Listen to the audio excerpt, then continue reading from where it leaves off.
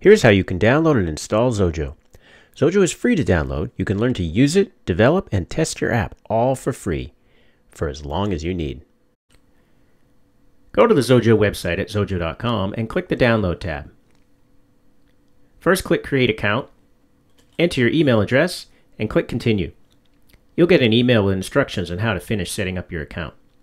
Once your account is ready, go back to the download page to sign in using your newly created account information. At the top of the page, you'll see a big download button for the operating system you are using. Click that to download Xojo. Or you can choose Xojo for another operating system by using the buttons at the bottom. If you are using Windows, download the Windows installer and run it to install Xojo on your computer and add shortcuts to your start menu. If you use Mac, download the Mac DMG and double-click it to mount it in the Finder.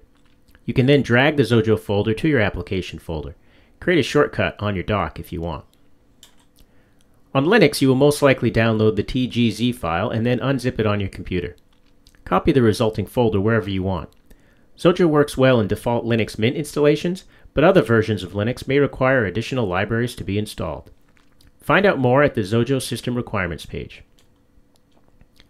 To start Xojo, simply launch it using the normal method for your operating system. On Windows, you'll select it from the Start menu.